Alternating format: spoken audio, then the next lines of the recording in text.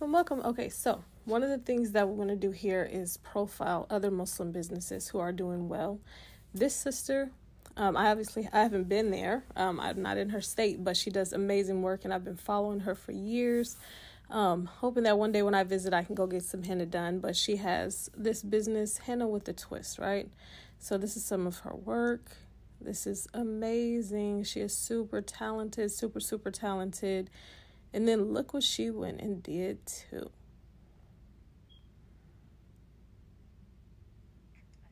Look at her on her on her local news. Let me turn it up.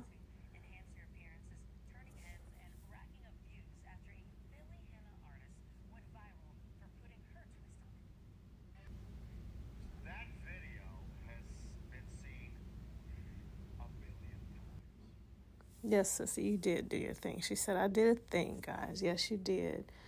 Mashallah. And another thing, because let's just take a look here.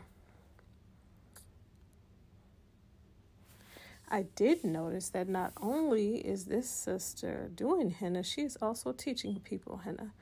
So here she has a workbook on her website. You're able to book an appointment. Look at that. That is awesome. Awesome. Let's take a look at that portfolio.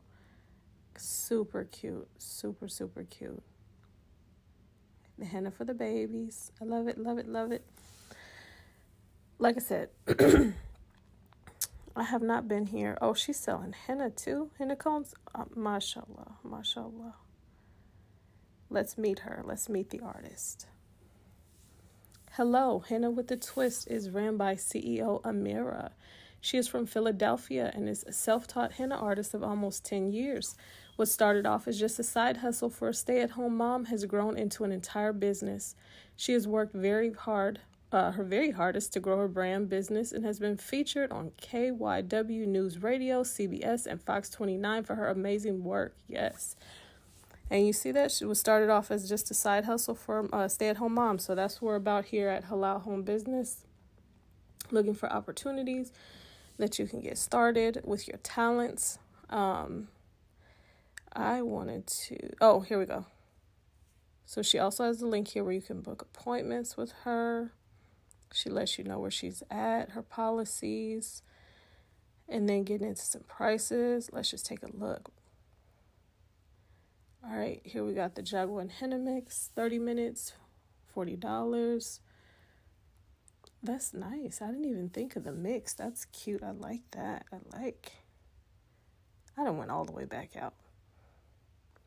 Y'all, this is my first one of these. I'm still getting used to this system.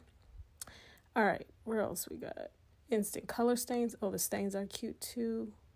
All right. So we got both hands for $30, 15 minutes.